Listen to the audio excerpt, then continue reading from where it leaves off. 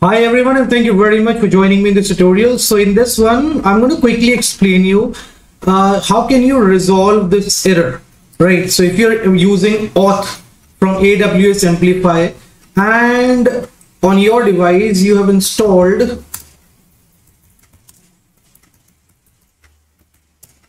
okay just giving you a view of uh, what is actually there on my device so i have amplify 6x present on my device right now.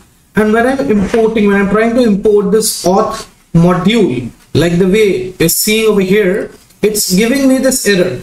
Export auth was not found in aws amplify so i tried different things but nothing worked. Finally I was able to crack this with the help of this uh, these two lines of code.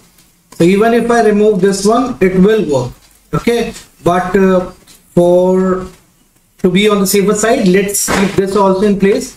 So once you're done with adding these two lines, right, and you save the changes, your application will start working, and you can see it. Uh, you know, it's working on my device perfectly fine. So this is how you can resolve this issue. In case you find uh, anything wrong in this let me know in the comment section below. I will be happy to help you guys out. Thank you very much. Bye bye take care